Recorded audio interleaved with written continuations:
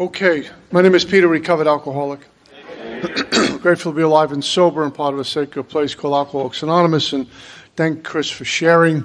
Uh, I love his rendition of the newcomers at an AA meeting, and, and I love the voices you do. Um, um, last night I was we're talking about steps one and two, and, and, and Chris kind of went through three and four just now. And uh, the thing uh, that I've learned, as most of my lessons the hard way, was what I referred to last night. One of the most important lines in my book, in our big book, for me is we had to quit playing God, it didn't work. Uh, and we will see, I get to see as I move through this work all the, the times I try to play God and how self centered I am, and I operate out of that. And I just want to share a quick story to get going here uh, that I heard a while ago, and I've shared this many times. It was, for me, it was very profound uh, and a fun story, uh, and it was told to me by, believe it or not, my priest. And um, we talk about we're not in the results business, and yet I insist on being in the results business and I usually run into uh, a conflict with people. And it was about this guy who was uh, laying on his couch day in and day out, kind of like we did when there was lockdown and just watching Netflix for days and days and days. And I'm still trying to work off my COVID belly here, but um, this guy was just lying on the couch day in and day out and going nowhere, doing nothing. And one day he woke up and, and, and, and the Lord's in front of him, and, and the Lord says to him, What are you doing? And the guy drops to his knees. I can't believe you're in my house. And, and, and God tells him, I have a task for you. I'll do anything for you, God. He says, starting tomorrow morning, I want you to do something. I'm going to place a big boulder in front of your doorway. He said, I want you to push the boulder. Push this big rock. That's what I want you to do. He said, I'll do it. And so the next morning, the guy wakes up and he puts on his sneakers and he opens up the door, and there's this huge rock in front of his door. And he follows the Lord's direction. He starts to push the rock from sun up to sundown. next morning, he wakes up and the rock's there, and he does it again for 90 days, sun up to sundown. He's trying to put, he's pushing his uh, uh, uh, boulder. And on the 91st day, he wakes up and Satan's standing in front of him, and he says, What are you doing? He says, Well, Satan, the Lord told me to push this rock. He says, You're going to listen to the Lord. What's wrong with you? The Lord is cruel. He's a joke. He's, you've been pushing this thing for 90 days and it hasn't moved an inch. Why are you listening to God? Listen to me. Just relax on the couch. Says, You're right. On the 91st day, 92nd day, the Lord appears to him. He says, What are you doing? He's, Lord, you know, Satan was true. What he told me, he says, You told me to push this rock. I've been doing it from sunup to sundown for 90 days. I've been pushing and pushing and pushing, and the rock hasn't moved an inch. And the Lord replies to him, He says, I told you to push the rock. I didn't tell you to move the rock. He's, That's my job. He's for the last 90 days, you've been waking up early and working from sunup to sundown. You've been given purpose and direction. You've been talking to me all day long. We're in communication. We have dialogue going on. And you've gotten in a whole lot better shape. Can't you see the change that's happened? I will move it when I see fit. And a lot of the things I need to go through is I put in an honest effort and then I want the results to go my way. And some of the greatest lessons I've had of when things didn't go my way. And some of them never worked out my way. But what it did, what it allowed me to do, is have total trust and faith and dependence upon God for the effort I'm putting in. In fact, He's the one who inspires me to have effort. And often, when things didn't go my way, there was great lessons learned in adversity, where the tools get sharpened. My dependence is upon God. See, it's really easy for me to want things to go my way. They go my way. It's a less need for God. There's an interesting line in our big book when it says it's talking about fear. It said emotion trains of circumstances which brought us misfortune, which we felt we didn't deserve. How could this happen to me? And I don't look at the fact that I'm operating out of fear, and what drives fear is me, is self. So I operate out of fear, so instead of being in love, I start stalking. Any alcoholic knows that. You know, I operate, operate out of fear, so I have to tell you how important I am so you like me. And it goes on and on and on, and people start to separate from me, and I'm wondering what the heck is going on. And all of that, like all of all my drama, all of my trauma, all of my resentments, all of my fear, all the self is, is, is living in this warehouse called the head, which produces anxiety. That's all it does. That's where fear comes from. Where self and ego and pride and the seven deadly sins, they all live up in here. And all it does is bring me misfortune, which me, my self centered uh, Peter, says, I don't deserve this. And remember my old sponsor pointing something out to me. When I go from living in the mind to living in the soul and operating out of the soul, I take that same statement and it's God brought me fortune, which I felt I didn't deserve. And the fortune is good things that happen to us, like the, the, group wants you to be a chairperson. The group wants you to be a coffee maker. The group voted you for GSR. She or he says, I love you. My wife just gave birth to a kid. I just got a promotion. And we go, I can't believe this is happening to me. I used to live this way, and all this abundance is happening to me now. That's called gratitude. Because it's not coming from the mind, it's coming from the soul. In fact, some of us, and I'm one of them, have had some difficult times, some real misfortune that just happened out there. The boss laid you off. She said, I found somebody else. Can't make the bills. All the bills are in arrear. Oh my God, I don't have the money to pay for it. That's, that's unfortunate stuff that happens to us. But what it's replaced is not with more doom and gloom. What it's, what it's replaced with is an undercurrent of, I don't know how I'm going to get through this, but I'm going to get through this. I don't know when it's going to happen. I just know if I keep chopping wood and carrying water, I'm going to be okay. I may not get all the things I want right now, but I'm going to be okay. I'm not going to drown. I'm going to, I'm going to be buoyant to get to the next buoy. I'm going to be okay. And what the work does, this book, it's not aimed at the mind. That's called self help. That's called therapy. What the book is aimed at is the soul in order to wake up the soul so I stop, start to operate out of that. Because the greatest enemy I will ever face is a four letter word called the mind. Why we tell new people in AA, bring the mind and the body will follow, baffles me still. We hear that a lot. Bring the body and the mind will follow. Why do I want anyone's mind, including mine, showing up anywhere, anytime? It is the troublemaker. Because out of the mind manifests selfishness, self centered, self seeking, self absorbed, pride, ego, envy, sloth, lust, greed, all of it. And yet I try to figure out stuff with the same broken instrument that created the problem in the first place. The very same mind that convinces me it's going to fill the hole is the very same mind that keeps digging the hole. And what my mind does, it creates a problem. I'm kind of sitting on the couch having a cup of coffee, and I'm looking around saying, Oh my God, I live in South Florida.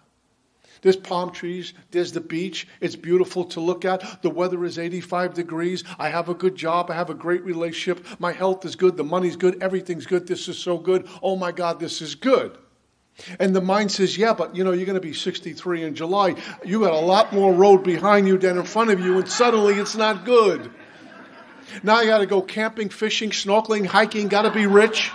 I haven't done enough. I need to do more. I need to go back to school. I need to be a doctor. I need to find a cure for some disease now. AA hasn't built a monument in front of my home group yet. Something's wrong. And I go from bliss to, to doom in about two minutes. That's what the mind does. It creates a problem. Now I have this problem. Uh oh. Now the mind gets in again and says, I have a solution for you. Quit your job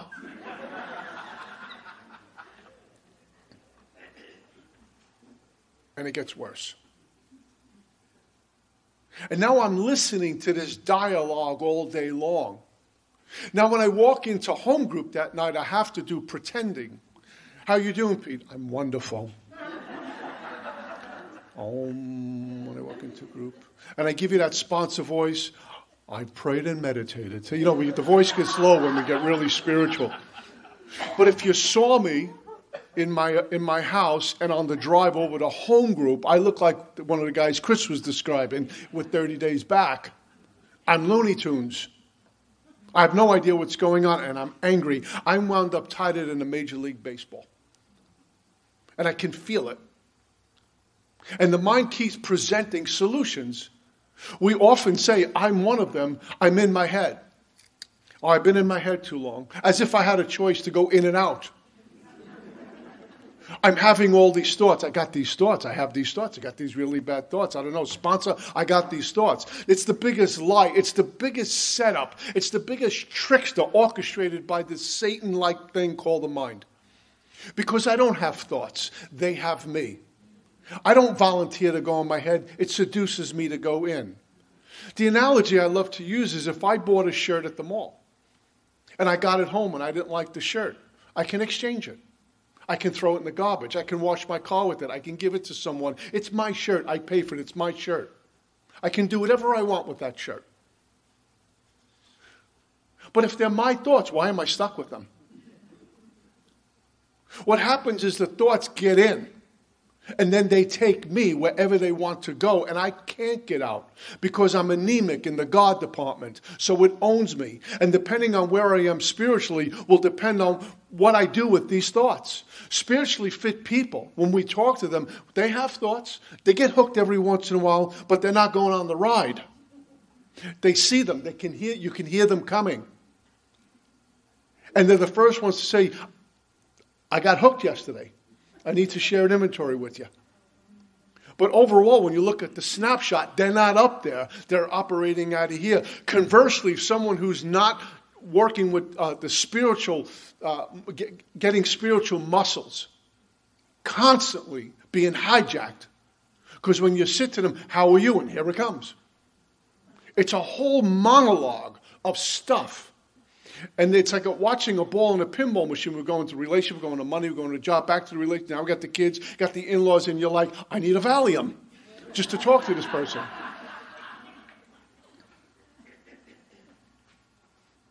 So it's this mind that is really the problem.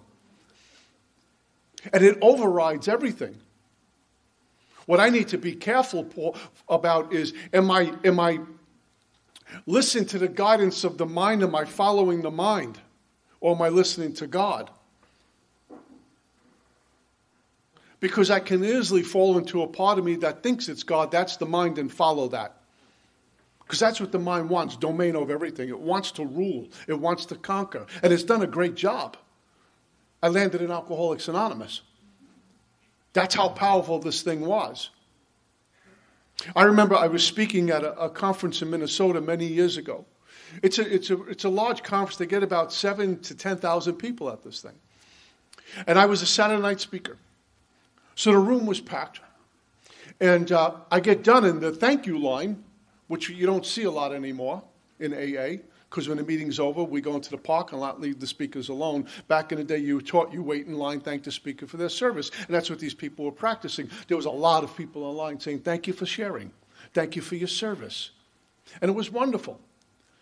And it was a while before that line kind of faded out. I went into the, into the, uh, into the lobby, and a bunch of us were going to go for dinner after the meeting. And as I'm walking towards the doorway and about to cross the threshold outside, I hear, Hey, Pete, from the back of the lobby. And I turn around, some guy waves me over. And I really don't like when people do this. You know, I, I should have known that that was going to be not a good conversation. And what he said to me was, referring to my talk, he says, That was interesting. That's AA code for it sucked. And he says, I never heard New Age, New Age AA before. And I immediately found myself trying to defend the talk. We went for dinner. The next day was Sunday. Got on a plane and went home. And I took that guy home with me. of all those people, my mind locked into that one guy who didn't think too highly of my talk. And it was a few weeks thinking how I can get back in the saddle, get there next year, and change the entire talk to satisfy one person. We do this all the time. I do it all the time. I get hooked like that. That's how powerful this predator called the mind is. And so, what this walk for me is is a soulful walk, and I need to get soul food on this journey. But the mind, my mind will be attached to people, places, and things all day long. My mind will take wants and get them dressed up as needs. I want a new car, I need a new car. I want a promotion, I need a promotion. I want a relationship, I need a relationship. Now I'm in the hunt to meet with anyone. So I go out with an orangutan and then t- complain to you how it didn't work out. Wants get dressed up as needs. So, what we're about to do, and I just want to flush out a couple of things and get into five, six, and seven. In step three, as we know, and I'm not, I'm not trying to step on Chris at all, he did a wonderful job, but our step three is on the bottom of page 62 to the top of 63. That's the third step consideration, and it's got some pretty cool stuff in here. It says how, this is the how and why we first had to quit playing God. It didn't work. If I am not in a place of willing to not play God anymore, then stop right there. That's what I was instructed. How can I do the rest of the steps if I still want to play God? The old joke about the alcoholic who goes to heaven.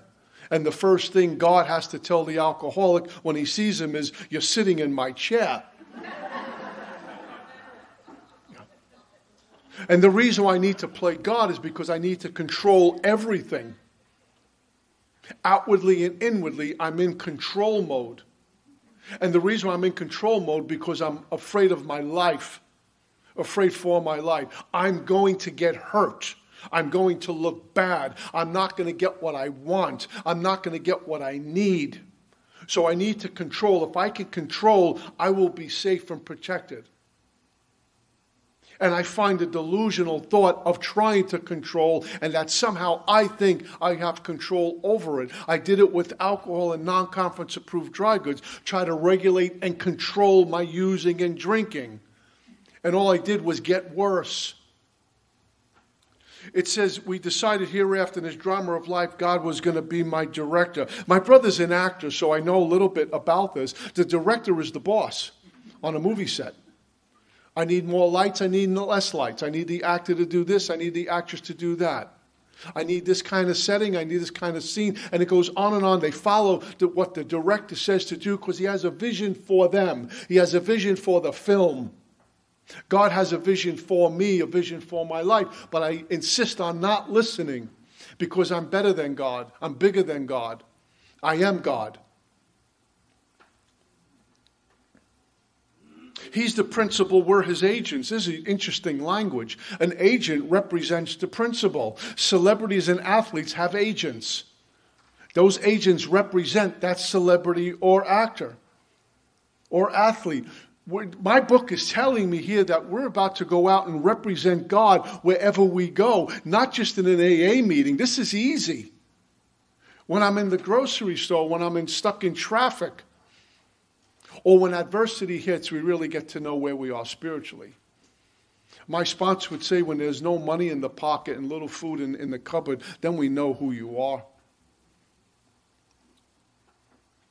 He's the Father, we're His children. Now, most good ideas are simple, and this concept or idea was the keystone of the new and triumphant arc to which we passed to freedom. When I took this position, He's the Father, I'm the child. He's the principal, I'm the agent. For me, I'm a spoke in a really big wheel, but my mind wants to be the wheel.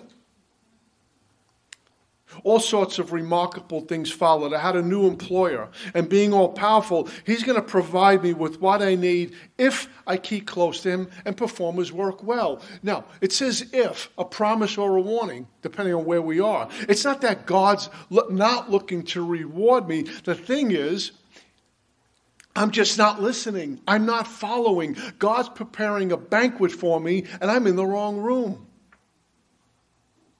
So how could I how could I experience God? How could I get any of what God is giving me? And if I'm truly awake, I will understand that sometimes adversity is going to happen. Even when I'm firing on all cylinders, adversity happens. It's life, the ebb and flow of life. And I will get enough to navigate through that and probably come out better for it. And how do I perform God's work well? It's a great question to ask a sponsor. What are they talking about? I can start off with what Chris talked about. I'm going to get there early and stay late, even at my own job. And what can I be of service? How can I be of service to someone? It's not my home group. So does that mean I walk in when I want and leave when I want? No, I'm going to get there early and ask someone, can I help you with chairs? Can I put some books out? Or what I love is stand by the door and wait for the white chippers to come in. Because you can spot them. And sometimes you see them wavering, should I go in or not on their first meeting? And they're hanging out and they're pretending they're on the phone because they got business to take care of. And they're going to kind of like nonchalant in the meeting. I know what's going on, so I'll go over and extend the hand. I'm performing God's work well. Maybe I'm in the grocery store. Instead of complaining the line's too long, I could be grateful I have money in my pocket to buy groceries. Or my, my little thing is feeding homeless. I got a hundred bucks in my pocket as a homeless person, so I cross the street. No. I can take a five or a ten dollar bill out. It's not going to break the bank. Thank you, God.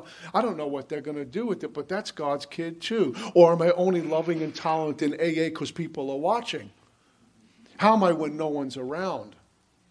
See, that's performing God's work well. But I can get so engrossed in the book, and I'm just not a knock on a book. I love this book. I love the mechanics. But I can get so engrossed in this. I go to workshop after workshop after workshop after workshop, listen to 10,000 CDs a week. I know how to do a fourth column like no one in the world. But there's a homeless person, and I walk right by them.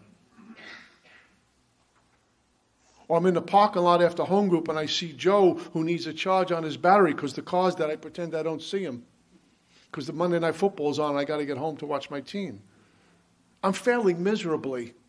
I'm an AA book, big book lawyer, but I'm failing to live spiritually. It says if we keep close to Him, performers work well. I don't have to get close to be close to God. What it is is an aha, and I'm speaking from my experience, an aha, a realization, a moment of clarity. Oh my God, it's God. There's no proximity when it comes to us in His power. When I was living in an abandoned building, I had just as much God in me then as I do as I'm speaking to you here now. Whether that's a lot or a little, it's the same. There's no proximity. I can't get close to God as if I'm going to walk closer to God. If I do enough step work, God will say, okay, you can come in now. God loved me when I was a sinner, and God loves me when I'm trying to do good, the same amount. There's no proximity. I've heard people say, you got to get close. What, what? I don't understand that language. Like, I know how to get close to God. I, me, a drunk from Brooklyn, New York, suddenly has this insight on how I can get close to God if I do this book perfect. It's a guide to get me to God till I wake up and go, oh my God, it's God. He's been with me the whole time. What about people who would just go to, to religious services and never did the book? I mean, they're not close to God.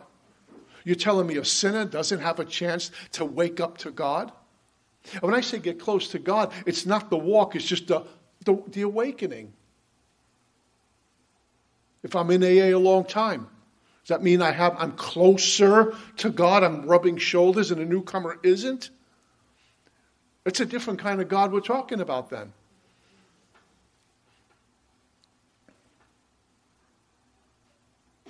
I'm on a different footing, and less and less I'm interested in me and more and more in you. It's a shift from page 62 to 63 already. It says, I felt new power flow in. Thank God, because chapter two agnostics told me I don't have power. And that's my favorite line, the whole book. Lack of power is my dilemma. With power, no dilemma. So I'm out. There's a vacuum, and I'm starting to experience this new power flowing in. Something's happening. Even if I can't put my finger on it, something's shifting here. It says we enjoy peace of mind. I just finished talking about 10 minutes on this predator called the mind. How can I have peace of mind when it never, ever, ever brings me peace? There's a shift that's happening because what's beginning to happen, I'm operating, if not here at some point, I'm going to, this is my experience, I've been operating out of the soul. When I'm operating out of the soul, there is no before and there is no later on. I am here with you. I would love to report to you I'm that way seven days a week, 24 hours a day. I'm not. I'm broken and flawed. That's my condition. But the snapshot is a lot better.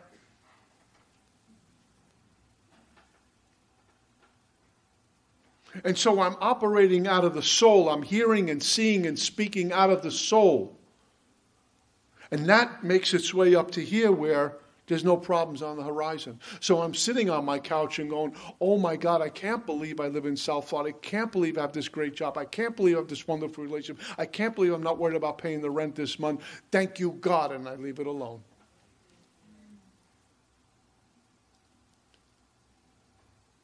I want to tell people about it. It's a different, different point of view on life. I began to lose my fear today, tomorrow, hereafter. We were reborn. Reborn in spirit. Unless a man be born again, he can't see the kingdom. So, what Bill is telling me now, although I can't pop into mama and do it all over again, I get reborn in spirit. Made new from the inside out. So to, you get a, a, a, guy like me and doing what I was doing and living the way I was living, and suddenly um, I get to live a respectful life with some integrity, help people, caring about people. I mean, it's a huge shift. Alcoholics Anonymous doesn't make any sense if we think about it. For, according to my mind, AA should not work on a logical a, a spreadsheet called logical. It just doesn't. Spock from Star Trek would it would blow his mind. this cannot work. AA doesn't make sense if we think about it, at least from my point of view. How do folks like us, based on what we've done with our life and infected so many, come in, we sober up, we follow the instruction in his book, we get right with God, we go back, make restitution, and now people trust and depend upon us, and we walk head up and shoulder square. It makes no sense. We become pillars of our community. We run companies, we raise families. This is impossible, it doesn't make sense. And we're operating out of a place of how can I help others? And I'm always batting second in the, in the batting order. It doesn't make sense. But in the spiritual dimension, it makes perfect sense. And it's difficult to practice it with the climate out there right now.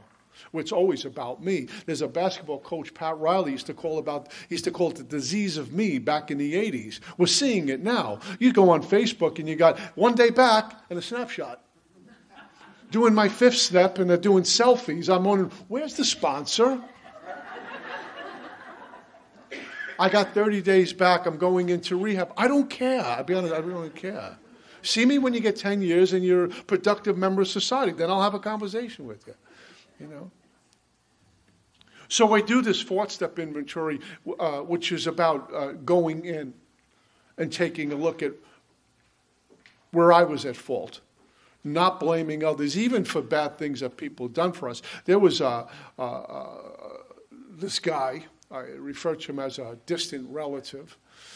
Uh, around ages eight to ten, would take me in the basement, and and uh, he was he was inappropriate with me. And I had this horrible secret. And I remember writing a fourth step, and uh, it got to the fourth column where I'm at fault. Where am I at fault? I was eight years old. This guy was a 30 year old man. What am I supposed to do with this? And if anyone's been in that situation, you're threatened, and it's, it's ugly. I said, what, where am I at fault? Because the book says that I disregard the other person did entirely. And I called my sponsor. And he was into mechanics, but he wasn't attached to mechanics. And he said to me, How long have you been hating this man? And I said to him, If, he, if I saw him on a street corner, I'd beat him to death. He's just put down hate and move on. Don't worry about selfish, dishonest, self seeking, frightened. We'll flush that out in five. Just put down, I hate him and move on. But if he was attached to mechanics, he would have let me sit in that all night till I came up with something that I didn't even believe to be true. He's just put down hate, we'll move on. So we have step five, I'll catch you. And he shared with me how we went through the same thing. And through that suffering, I got to experience healing in that part of my life because I'm able to talk about it, not for shock value, but every time I do that, uh, God says, go talk about that. And there's people in here who've had that, men and women. In my experiences, the ladies, uh, bless your hearts, are, are, are, seem to talk about that more freely with each, with each other. Uh, guys, we don't want to talk about that because someone might think less of us in our manhood. Never happened to me. You know, I got an image to protect. Almost, almost every man I've sponsored has, has experienced that. It's a secret guys don't want to talk about, you know. And I got to get free of that. So I have this fourth step, and now we, I'm supposed to cover. I'm going to try to uh, move here in five, six, and seven, and uh, this is what my book says. Into action. Um, as Joe and Charlie would say, not in tune, make 90 meetings in 90 days. Um, it says, having made this personal inventory, what shall we do about it? So I have step four. What am I going to do about it? It tells me a solitary self appraisal is insufficient. It also tells me uh, if I skip this vital step, I may not overcome drinking. That's a clear cut warning. The old timers would say, do a fifth or drink one.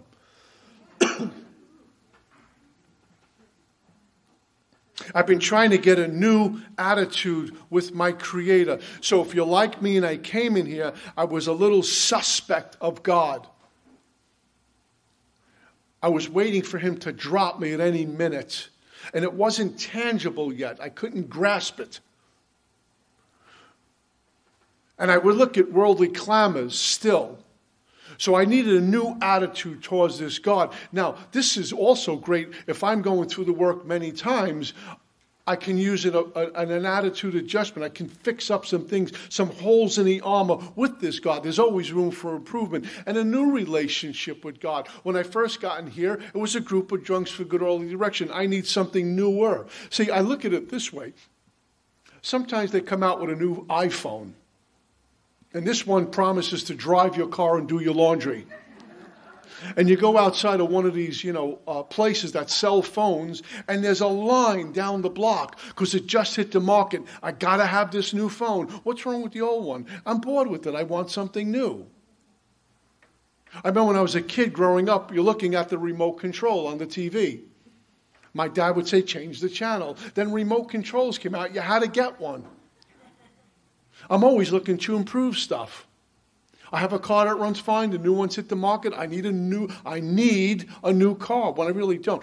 When it comes to my new attitude towards God, why wouldn't I want a new one or a new relationship? Why wouldn't I want to improve with that? No.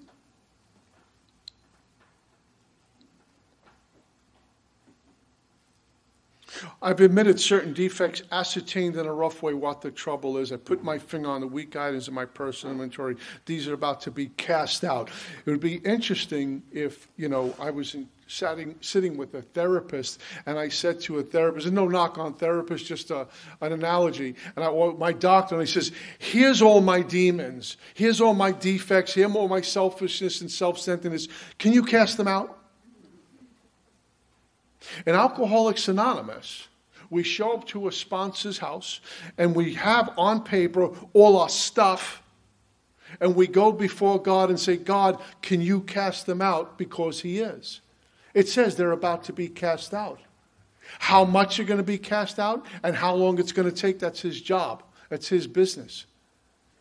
But I'm going to show up about to be flushed out of all the things that have been killing me and infecting others' lives. Because God's always beyond my cleverest plans. He's God. And what 4 through 9 is going to do is crush the ego. It's going to bring death to every identity that does not come from God. Because if you're like me, I walked in here with a lot of false identities the ideas, attitudes, and emotions about everything about me, about life, about people, on how this should look. And it's not working out. And I'm about to get new stuff put in a point of view, looking with God's eyes, if you will.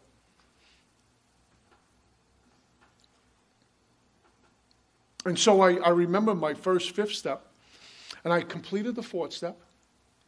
I had a, a spiral notebook, and I did it really at, at one point. Uh, it got to a point, I should say, where I really believe my life was hinging on what I put in this, on, in this book. And there were things in the sex inventory I really did not want to put on paper because I know what's about to happen, step five.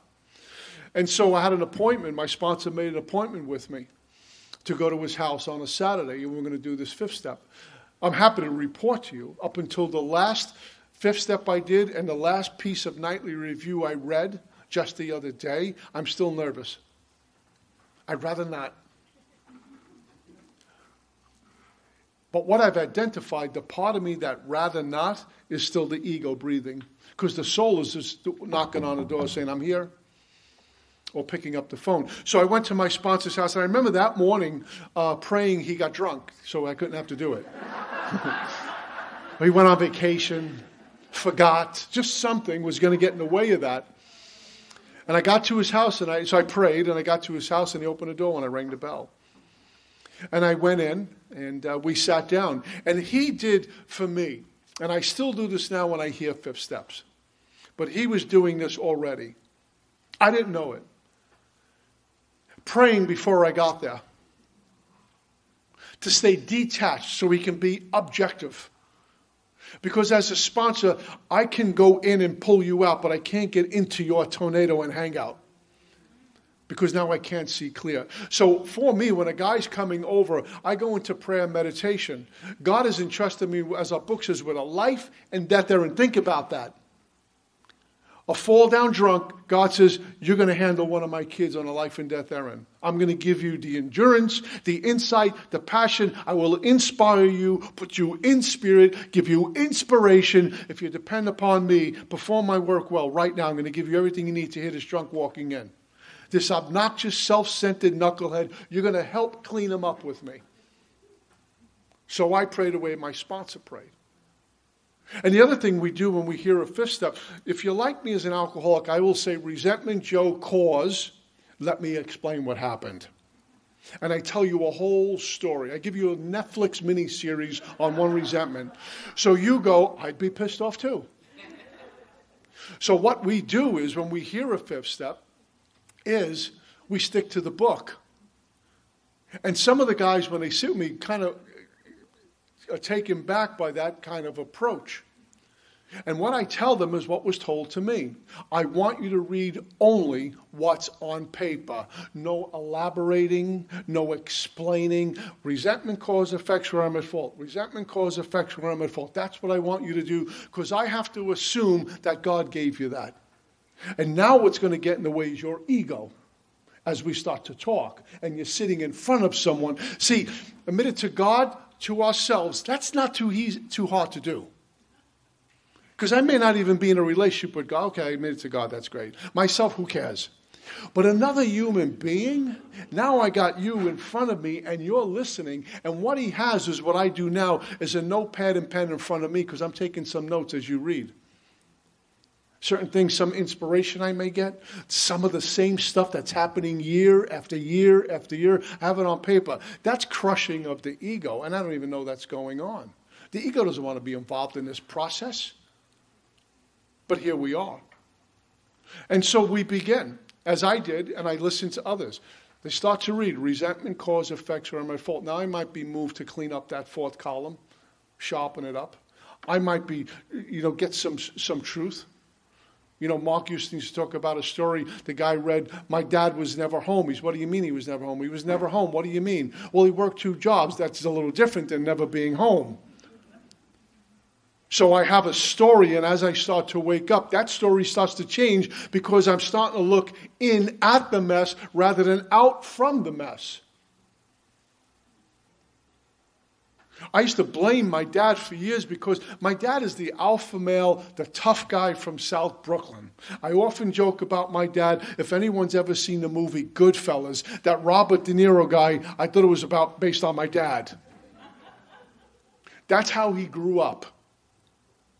And I always imagined, you know, this hallmark card of a fireplace burning, me sitting next to dad, him imparting some insightful wisdom upon me and saying, hello, son, while he smoked a pipe and had a shirt and tie on. My dad was not that guy, and I hated him for it. He didn't know about sports. He knew how to gamble about sports, but he didn't know sports. He didn't know the Yankees batting order when I was growing up.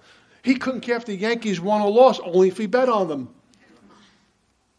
And I really, really was frustrated and angry with him. Then I got done with this work and we lived life forward and understand it backwards. What else did my dad know? He was brought up in the streets at five years old. He was on his own. And the only people who took him in was a certain type of people. And he identified himself as a man being with them. He knew street code. We've all done the same thing. Hang out at the bar, that's where I get the real deal. Hang out on a street corner. My drug dealer is a respecting drug dealer. He would never lie to me.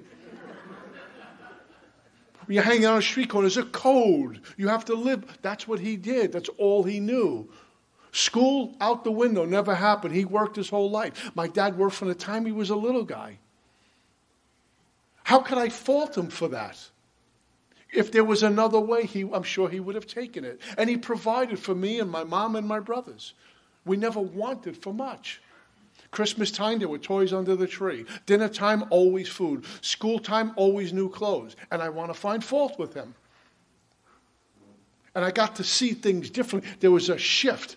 Our book talks about prepared to look at it from an entirely different angle. It's a shift in consciousness. You know, when we hear the traffic report, those people giving us the traffic report during rush hour are never in traffic with us.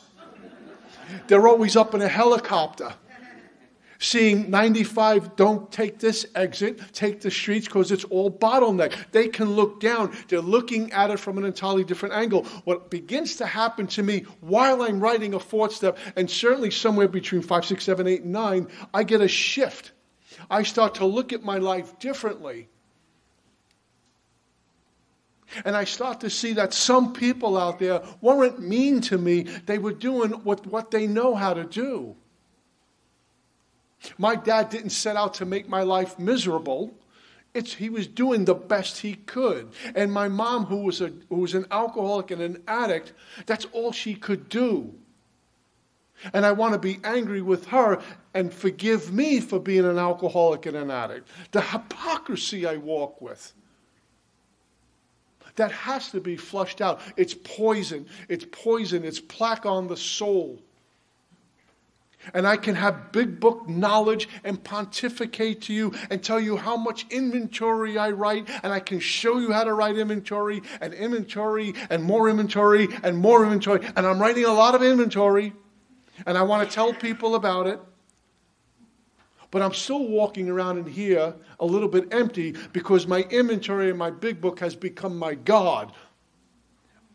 But in actuality, I don't have a God in my life. In fact, when I'm talking so passionately about the book, am I doing it to convince myself that the book really works? Because I have no God in my life. So I got to see a shift. And so when I hear inventory uh, in the fifth step, we pray. I'll read out of this book right up until where it says, um, I don't want to screw this up. We pocket our pride and go to it. I stop there because now we're about to go into the fifth step. When we're done with the fifth step, it says, once having taken a step, now I'm done with the fifth step, we come out. So while they're reading to me, I might take some notes and it'll look, sound something like this. I'll ask, I'll ask the guy to stop and say, hey, you started this inventory when you were 10 years old. Resentment, mom and dad and your brother and your, your schoolmates. Now we're 45. The people have changed, the state has changed, your age has changed, but the same guy is operating. Do you see, do you see what's going on here? From ages 10 to 45, it's the same character. You're just older.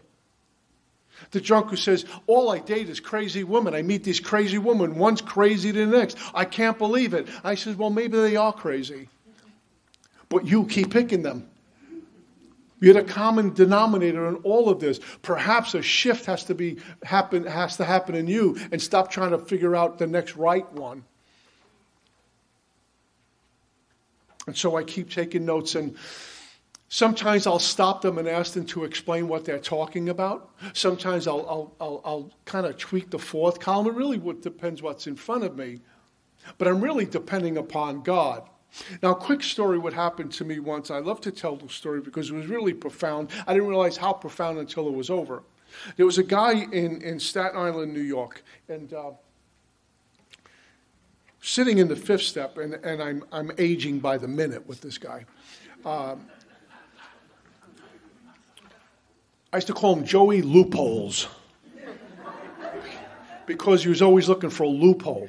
And it sounded like this Yeah, but let me explain. Yeah, but let me. Well, doesn't the book say that? He was doing this. And I'm in a cold sweat. And after about an hour, of this is let's take a time out. And I'm in my, my dining room with this guy, and there was a little bathroom on the side, and I go in there, and I'm throwing cold, literally throwing cold water on my face. And I'm exhausted after one hour. This guy's killing me. And I, I get on the floor and I kneel and I say, Father, I don't know what to do with this guy. I want to throw him out of my house. I don't want to sponsor him. I don't know what to say, but I'm running into a wall. I don't know what to do. Please help. So I get up off my knees expecting inspiration. Nothing. Now, I, I tell that for a reason because if God would have said, do this, I would have gotten a hold of that and made it mine and tweaked it. I walk into the room, I sit down, I take a deep breath, and then it happened. God listened to my prayer. And this is what I said to him. I says, I can talk about it now. He gave me permission. His name is Carl. I says, Carl, all I want you to do is read your fourth column to me.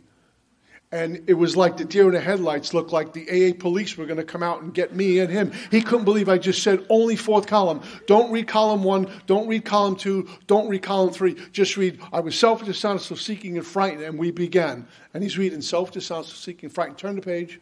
Next one, self dishonest, seeking, frightened. Turn the page. About 10 pages into just doing this, I'm waiting for the AA police to bust through the doors, a SWAT team, you know, all the big book lawyers, get them something indescribably wonderful happened.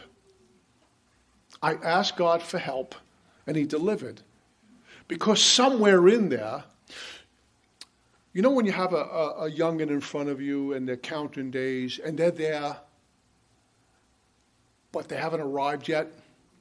And then one day you walk into group and you look in the eyes and the eyes are on. They're here.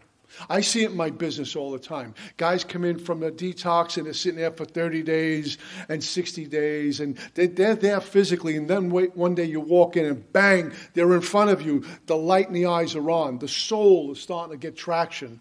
Well, sitting in front of Carl, it was as if someone turned on a spotlight inside of this guy because his eye, I realized how his big blue eyes. Everything shifted for this guy. It was as if he was split wide open, or like the fist of Gulliver got down there and ripped out what was in. He was so attached to so many things and a simple consideration. And we finished that fifth step. This guy's never been the same. He was running around Staten Island now with a big book under his arm, sponsoring guys. Anyone who was available, he'd sponsor.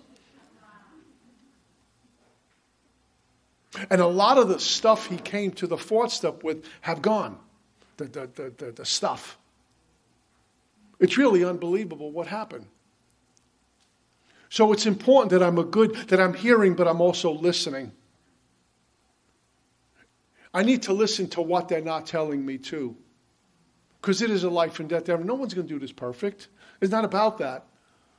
But God gave me a job to do. So I finished my fifth step. And when I first got here, I was um, 1 through 9, it's in 10, 11, and 12 forever.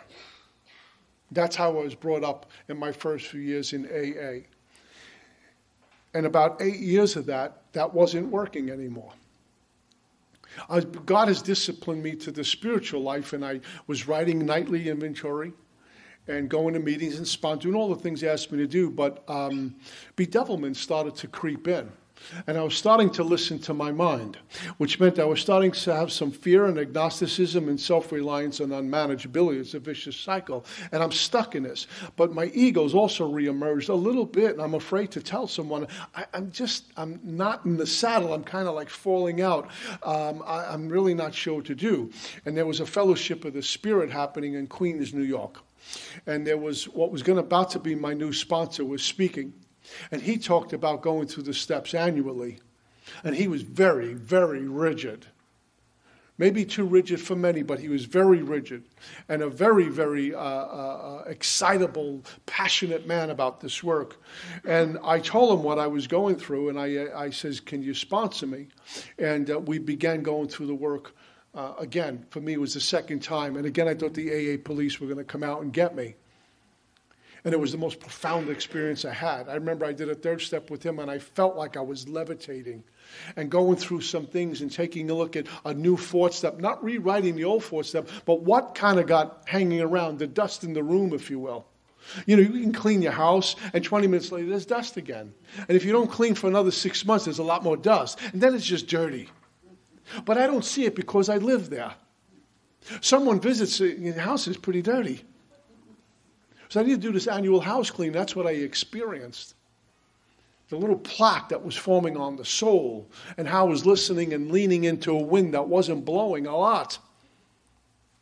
I did four through nine with Mark. So I finished this fifth step. And it's really interesting. The first time I did a fifth step, how I was so relieved. There were no fifth step promises yet.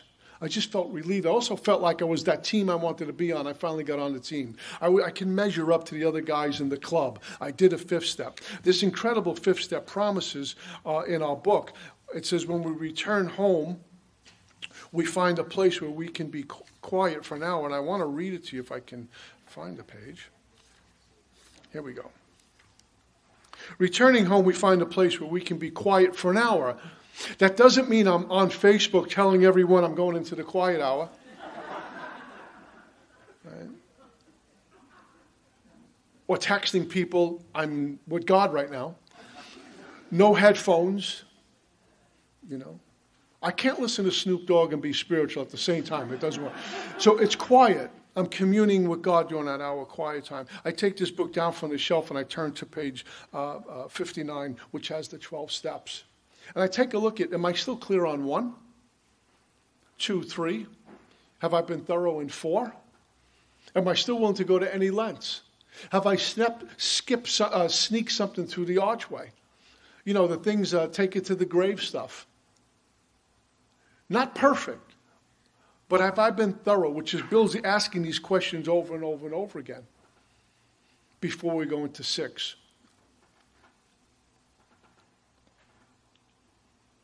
I thank God from the bottom of my heart that I know Him better. I carefully read the first five proposals. And Bill, it kind of reminds you if anyone's uh, faced a lawyer in court or done a deposition, that lawyer, that opposing lawyer, asks you the same questions eight different ways to trick you. And they'll start off with question A at the beginning. At the end of the deposition, they ask that same question again to see if he's trying to be sneaky about stuff. So Bill's writing this to appeal to different types of people and asking the same question in different language. In a nutshell, have I been thorough and honest? Yes, move on. Now, these fifth step promises which precede this are pretty incredible. Albeit they didn't happen to me right after I was done with the fifth step. I kind of got to see or experience these things in six and seven, eight and nine. But it says, once having taken the step withholding nothing, we're delighted. I can look the world in the eye. That's huge when we can look anyone in the eye and not be gun shy anymore. I could be alone at perfect peace and ease. I don't need to be home with the TV on silent while the radio's going, on the phone, on the computer, and eating something at the same time. I remember uh, watching a basketball game, a, a Knick game back in the day, and I watched an entire basketball game and made myself a little lunch and watched this game. And when it was over, I realized I just spent about two hours or whatever it is watching a ball game. I didn't go to the phone once. I didn't have a computer back then, and I was really okay watching a game on a Saturday all by myself. This was new territory. I needed something, excitement or gossip or just something to keep me interested and keep me away from me. The feeling that the drink problem uh, has disappeared will often come strongly. Um, having had certain spiritual beliefs, we now begin to have a spiritual experience. This is profound. It's that people will tell us it's normal to think about a drink if you're an alcoholic. That statement is entirely true if I'm untreated. But according to my book, that feeling is going to start to go away. In fact, in step 10, it says the problem has disappeared. Not that I'm cured, but that thing that was screaming at me is now a distant voice. It doesn't have its hooks in me anymore. So when I'm done with this fifth step and I'm done with the quiet time, I don't go to 90 meetings in 90 days and, and hang around. It says I'm supposed to move into step six because what I have is the wreckage in front of me. What came out of step four and five? How can I live now knowing how I lived then? How can I be present to the moment while I'm still driven by all this stuff from the past? So this is starting to get flushed out. So it says, if I can answer my satisfaction, the questions we looked at on the bottom of page 75. I look at step six. It says, Are we now ready to have God remove, remove from us all the things we considered are objectionable? All my column four. And all the tentacles that that has, they're called defects. I look at it, God, I don't want this in my life anymore. Can He now take them all, every one? Is, do I believe my God's big enough and loving enough to do that? Yes. Can He take them all, every one? I hope He does. Because of myself, I am nothing. The Father do it that works. And one day I looked at that question in a different way. It says, Can He now take them all, every one? I hope He does. I pray He's big enough. And then I looked at it this way. If I was uh, opening up this meeting, if this was my home group, and every Monday night I come here and I open up, and one particular Monday night, uh, uh, uh Chris sees me walking in with a co- new coffee pot under my arm and a stack of big books under the other arm and a teaser dangling from my teeth. And I'm walking across the parking lot and everything falls. Chris says, Let me help you with that. Said, No, Chris, I got it. I pick up everything again. I stumble along, it falls again. This goes on three or four times. And finally, Chris says, Can I take that off of you now? Are you done? Trying to be a hero? I look at this statement as the book is telling me, Can he now take them from you? Are you done? You're dying with this stuff and you insist on holding on to it. Can he now take them all? Every one. He'll take the big books, he'll take the coffee pot, he'll take the keys, and I can travel light. I can just walk into the meeting and sit down. People are doing for me what I couldn't do for myself. God's about to do for me what I can't do for myself again. So I pray for the willingness to have God remove everything because this isn't about trimming just some of the trees. This is about a, the leaves off the tree. This is about a complete transformation, a complete uprooting once again. Am I willing to do that? How far into the forest am I willing to go? I was desperate here and also frightened. Exactly where is God going to take me? It's easy for you. You know, you're sober 20 years, you're sober 30 years, you sponsored a bunch of guys. I'm a new kid on the block, and they're talking about revamping me once again. And one of the things I was afraid to let go of was trust or distrust.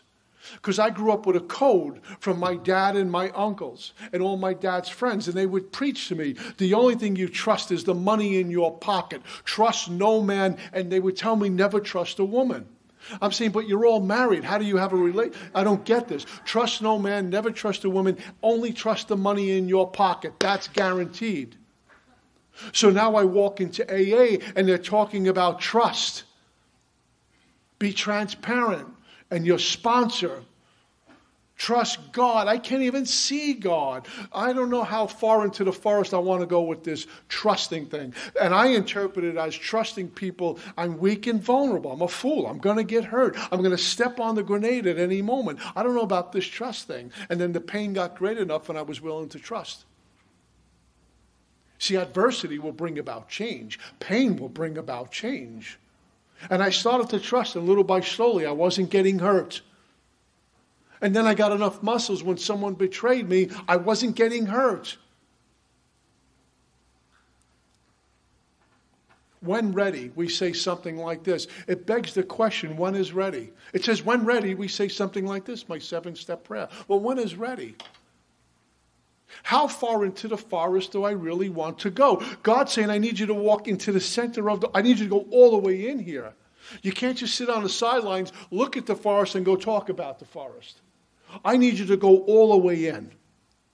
But no one's walking with me. I'm walking with you. I need you to go all the way in. How much change do I want? How free do I want to be?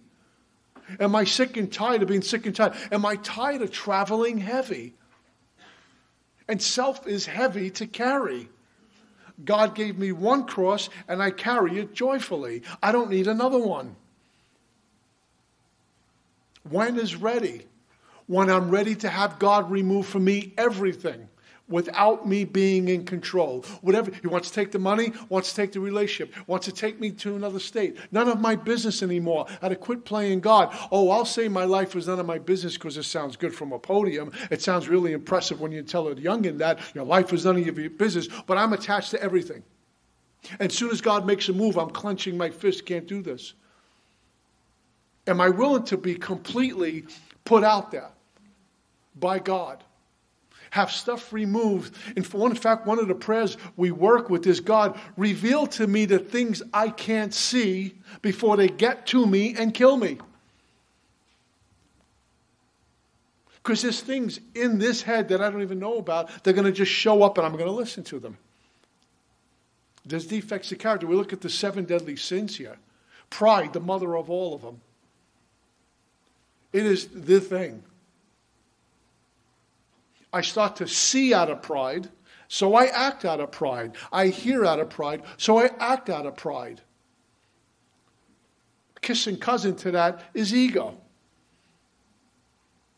Envy. I covet stuff. I want what you have, not the way we talk about it in here. I want your house. I want your girlfriend. I want your wife. I want your money. And I hate you for having it because I can never have that. Sloth not just laying around watching Netflix and eating bonbons all day. Doesn't sound like a bad idea sometimes. Sloth, spiritually slothful. I don't really pray that much. I just go through the motions. I don't attend my religious community because I have issues with it, but I won't work on the resentment. I'll just nurse that grudge because I'm me and I can have one. I don't really meditate. I haven't read a spiritual book. I study up when I have to go speak, so you think I'm profound, but I haven't done anything really spiritually. I haven't sacrificed anything in a long time. I'm spiritually slothful, lustful. Not only with sex, I have a lust for power. I want to be Mr. AA. I see this a lot. We see this a lot when we're on the road. There are speakers out there who will only speak Saturday night, be a banquet speaker, and that's it. A lust for power, need to be the king of my home group. I need to have a lot of money, so I'm going to look to hurt you to get your money, get your position. Mr. Brown, his attention to my wife wants my job. It's a lust for power. And so on and so. Vanity, I mean, all these things that come up pride, envy, sloth, greed. Yeah. I mean, how much is enough? Got a million dollars, I need two. Okay, get two. Now I. I have a brand new, brand new Cadillac in my driveway, and after a while I need now a Mercedes Benz. Well, I need two Cadillacs. I got a really nice house. I need a bigger house. I heard something that was fabulous. If we put on the board, you know, for traveling light, it's a wonderful thing. Traveling heavy is ugly. But if I put on the board, a chalkboard, Relationship, health, and money. Put that on the board. Relationship, health, and money. Well, we all like to have uh, enough money for our families, for ourselves, for our kids, right? Security. Relationship, we all like to be in a nice, loving relationship with someone to spend our life with. It's nice. Health, we all, I'm assuming, want nice health, good health, a long life. And so it's kind of objective. It kind of like doesn't really touch home. But if I put in front of the word health, my health, in front of money, my money, put relationship, my relationship, now it changes the whole game. Now it's mine. Now it's changed. My point of view has changed. My sentiment towards it's changed. Now I'm traveling heavy because I'm afraid I'm not going to get what I want or lose what I have. Now I have to protect and honor and, and make sure no one gets near it. And it's my money. I can give it to you when I want, but you can't take any of it and I need more. It changes everything. Greed. What am I going to do about this stuff? Trying to work on defects on my own is like trying to swim in quicksand. I can't do it. I'm going to work on my defects. I'm going to work on my attributes. Good luck. Let me know how to get back to me in 90 days. Self will can't overcome self will. Uh, uh, the carpenter said Satan can't cast out Satan, self can't cast out self. I need something greater than me to do this. Defects love when I'm working on them because they just breed more defects. That's a defect in itself, thinking I can work on my defects. With that, that trust issue, I felt like I was going to be the hole in a donut. I was going to be a weak and feeble and, and take advantage of what has happened as God does his handiwork. It, it makes me, makes us, if I can be so bold, more real, more dependable, more open to share brokenness with you. When we go to a meeting, we talk about what it was like, what happened, what it's like now. Part of the what it was like is sharing our brokenness. And we go, yeah, me too. I drank like that. I felt like that. I thought like that. I screwed up like that. And even when we talk about what it's like now, some of the ebb and flow of life, you know, losing people, breakups in relationships, things like, well, yeah, I went, how did you go? Me too, I get that, including some of the, the, the wonderful times. So we ride this together. We become more, I become more real, more genuine and a greater need to depend upon God. I would love to tell you the defects are gone and now I'm perfect. oh, no, they hang around. When I wake up in the morning, I go, He's up. yeah.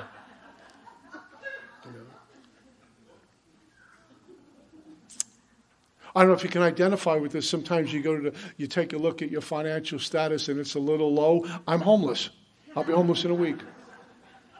You know because I don't have a billion dollars. When I get a billion dollars, then I'll be okay. Not even a million, I need a billion.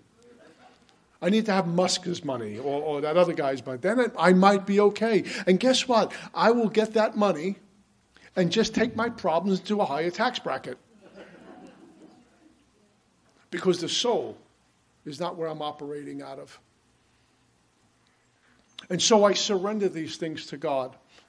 And when I came out of step five, a lot of folks, and this is cool, do five, six, seven, right into an eight step list and out the door. That's cool. After the hour quiet time and we approach six and seven, all my sponsors have allowed me to stay with that. Anything come to the surface that I'm unaware of to really understand that God's about to revamp my life again. Because if you notice at the end of the seven step prayer, and I'll, I'll read it and we'll, go, we'll take a break, um, there's a amen at the end of the seven step prayer, not in step three. It's a body of work of going in. And we're about to step out for now because we're going to go back in again. But for now, this body of work is done. I'm going to take this, even if it's a little awakened, awakened spirit, and go out there and make restitution.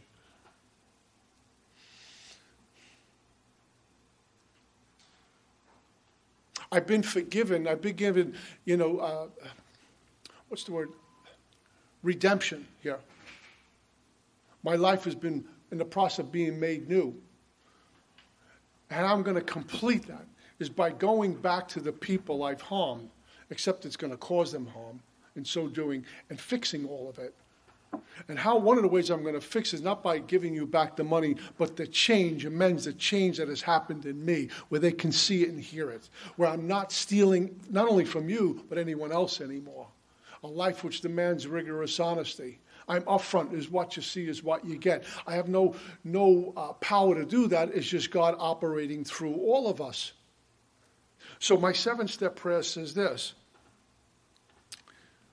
my Creator, I'm now willing you should have all of me, good and bad.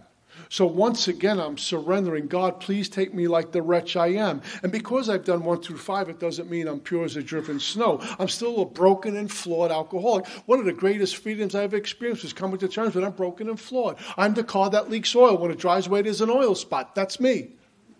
What tremendous freedom in that, that I don't have to be Mr. AA, Mr. Perfect. Because if God wanted that, He would have made that.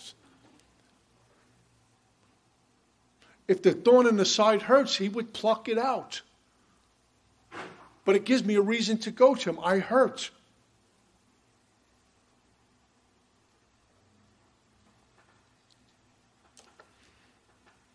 I, I, not for me to decide what's good and bad either.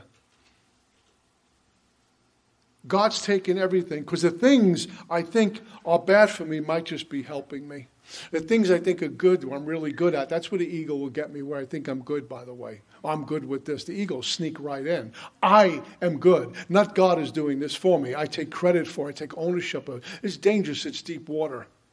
There was a gentleman I knew, in, in another fellow in Staten Island. He was a great sponsor, hardcore big book guy. He was loud, he was obnoxious. You could hear him in the next building when he, you know, and his voice was so loud. And he would challenge people difficulty, wasn't warm and fuzzy. And he said at a meeting one time how he was praying for the longest time. He said, I wanted to be more of a gentleman. He knew he was like that. I want to be more of a gentleman, more soft spoken, that kind of thing. And his sponsor said to him, How long you been praying about this? He says, Forever. He's taken a look at the men God sends you to sponsor them. They're roughnecks, they're tough guys. They'll only listen to you and that kind of personality, that kind of deportment. The mild, meek guy, they're not going to go to. So God just kind of trimmed off some of the edges. He didn't pluck the whole thing out. So what I think is good for me might be bad. What I think is bad for me just might be good. I don't know. I'm not in the results business. I just surrender me as I am with all my faults, good and bad. I pray that you now remove from, oh, I'm getting ahead of myself, every single defective character which stands in the way of my usefulness to you and my fellows. It's not about making me some super duper AA guy. It's about going to work for God. He hired me. Mm. And I grant, uh, grant me strength as I go out from here to do your bidding. Uh, what is God's bidding today? Well, I need to complete eight and nine, grow in understanding and effectiveness, keep me away from me, and be, be a servant to God or all in need in AA outside of AA. I can't do that traveling with defects of character. I can't do that immersed in me. I can't do that. You know, it's interesting. In, in uh, uh, we, we, I, I, said it a million times. I need to find myself. I need to uh, discover myself.